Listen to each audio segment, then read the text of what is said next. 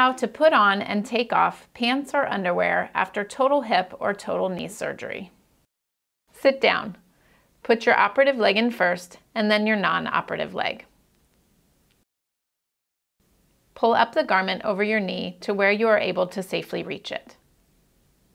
Stand with the walker in front of you to pull your pants up the rest of the way.